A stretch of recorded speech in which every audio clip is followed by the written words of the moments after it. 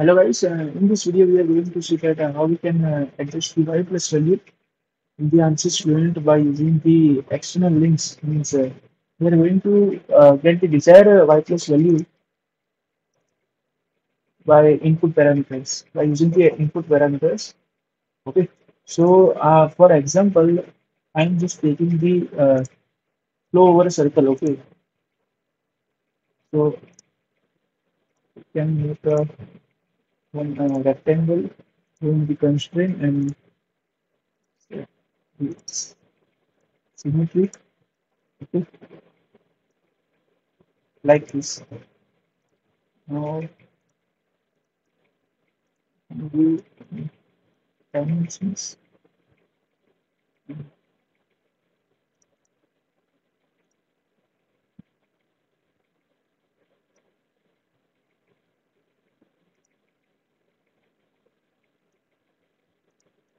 30 okay and we are taking a circle. Okay. Then the dimensions you can adjust the diameter. So diameter i'm taking as a 10 okay. Taking as one. Okay now uh, as we know for 2d simulation we need a surface so going to concept surface from sketching sketches and in the base of object object select the sketch which you drawn and uh, click on the apply. After that, select the surface from sketches and uh, click on the generate button. So our geometry is closed. Let's say the surface is now we need to go for the mesh. I just took the uh, basic geometry for uh, learning purpose only. Okay.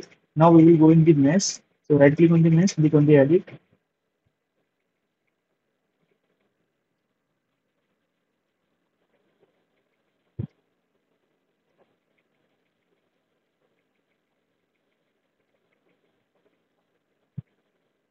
Generally, in the ANSYS we can see the y plus value uh, in this setup after the simulation. But uh, if you want to set uh, y plus value, okay, during the meshing, uh, you can use the external uh, in the uh, in the net, internet. Uh, there are lots of uh, many websites available. You can uh, just search the y plus value calculator, so you will get the many links. So you can use that to calculate the y plus value. Okay, so First, we, we will see the default means. Okay. Now, as per the requirement, you can uh, apply the number of divisions here. So I'm doing the sizing and in the geometry. So it selects in click on the circle. Click on the apply and the number of divisions. I'm giving as 100. Okay. Okay. So we got the unit divisions here. Now, how we can set the y plus value? Okay. For that, we are using the external link. Okay. Now, uh, whenever we do the simulation, we have a uh, our quick we we, uh, we should know about our quick pre-processing, right? We we know that uh, we should know that the, what is the inlet velocity, viscosity, density of the fluid, everything. So uh, I will paste this uh, link website website link. There are multiple websites are there. Okay, so you can use that. So here to calculate the first layer thickness. Okay, to cal calculate the first layer thickness, you can use this. Now for different turbulence models like K omega SST, K epsilon, Spalart-Allmaras, for them uh, there are different y plus values are there. Okay, so y plus values are to uh, for is used, uh, we need to set a perfect y plus value to capture the perfect flow, okay, in every simulation. So we know that uh, for uh, k omega SST transport turbulence model, the y plus value should be less than 1 or less than 1, right? 1 or less than 1. So uh, as per the requirement or uh, as per your condition, you need to set the Houston velocity, density of the fluid, dynamic viscosity of the fluid and the characteristic length. The characteristic length. Okay.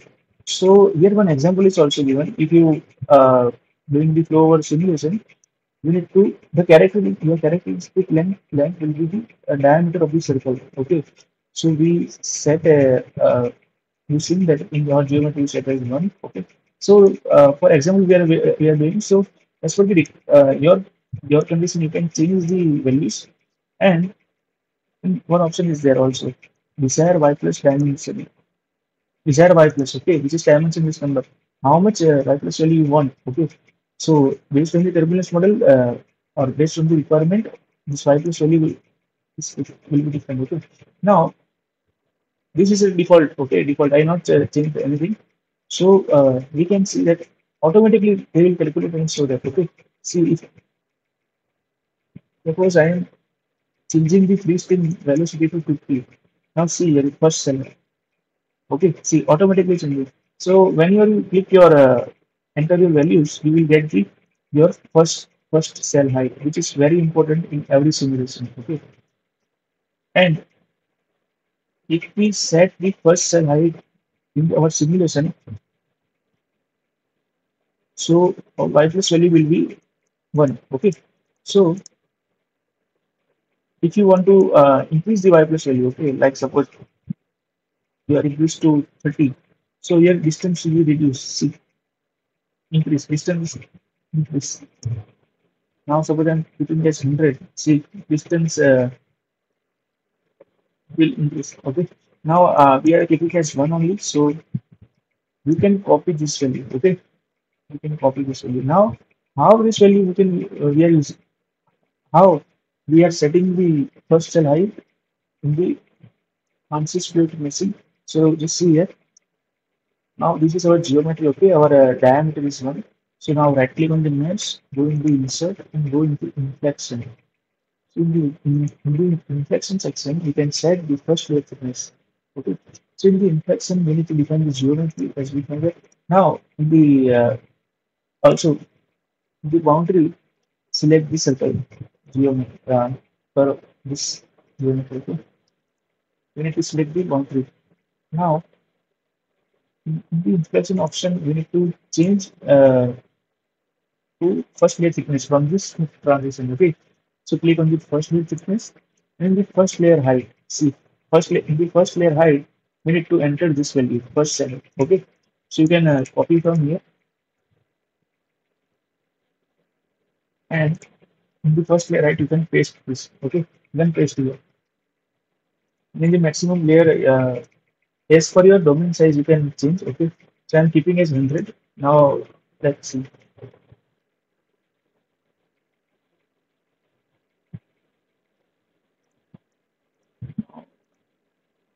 It's 50 okay. So because of the high number of uh,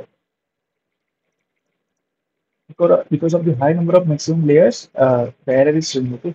Now i set it as 50 so we can see here see near the boundary of the circle.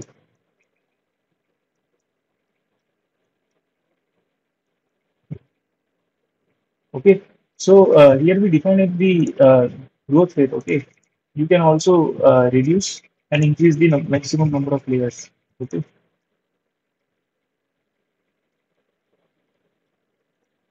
After the simulation you can check the plus value in the setup okay?